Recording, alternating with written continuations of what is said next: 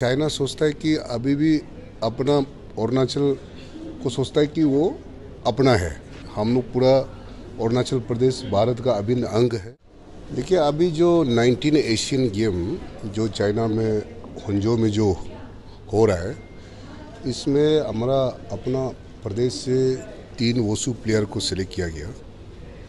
तो वो जाकर उसका जो एक्स एक्सीक्रेशन वो जो है, वहाँ से चाइना से दिया नहीं है। तो जब भी अपना यहाँ से होता है तो इस प्रकार का वो स्टेबल वीज़ा को लेकर काफ़ी होते रहते हैं। तो हम लोगों ने पूरा यहाँ का हमारा स्पोर्ट्स ओलंपिक एसोसिएशन का यहाँ का प्रेसिडेंट सेक्रेटरी जितने भी फेडरेशन का प्रेसिडेंट सेक्रेटरी और Olympic association Olympic association of federation of India वो सारा मिलकर उसको काफ़ी हम लोगों ने ट्राई किया कि यहाँ से बेचने के लिए। तो हमारा बच्चा तो वहाँ से वीज़ा नहीं दिया तो वापस आ गया। लेकिन चाइना सोचता है कि अभी भी अपना अरुणाचल को सोचता है कि वो अपना है। हम लोग कोई चाइनीज़ का नहीं है, हम लोग पूरा अरुणाचल प्रदेश, भारत का अभिन्न अंग है। और हम लोग इंडियन है, हम लोग कोई चाइनीज़ नहीं है।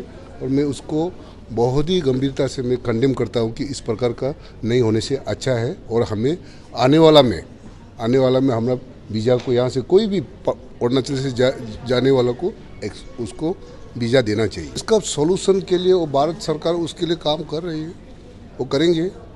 वो उसका सॉल्यूशन तो अभी मिनिस्ट्री ऑफ़ होम अफेयर्स हाँ एक्सटर्नल अफेयर्स और वो उसके लिए जो जिस प्रकार से क्रॉस नहीं होना काम करना चाहिए वो काम कर रहे हैं।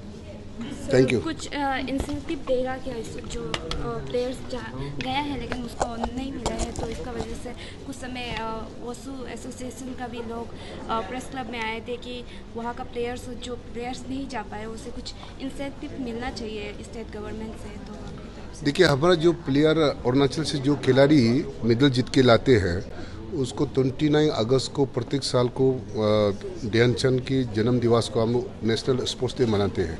उसमें जो जो आपको वो मेडल ला, लाने वाला को इसमें हम लोग इंसेंटिव उसी दिन को देते हैं।